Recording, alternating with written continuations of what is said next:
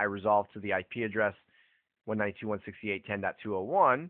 And now I'm going to do an IP config slash display DNS again. By the way, if you're wondering how that came up so easily, I just hit the up arrow. Up and down arrow lets you scroll through commands that you've